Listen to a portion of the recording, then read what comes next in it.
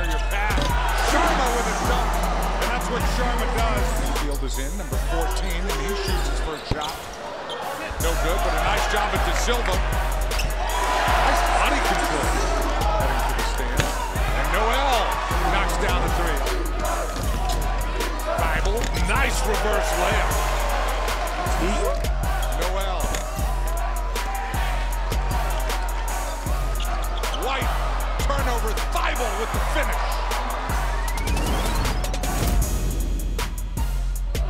plays they need to make. Sheffield for three. And boy, did Stanford need that. Crisp. Days one and done. The freshman Cormac Ryan is single-handedly keeping Stanford in it. Coach Ash.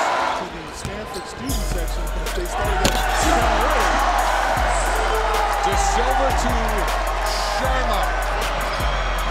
Finishes.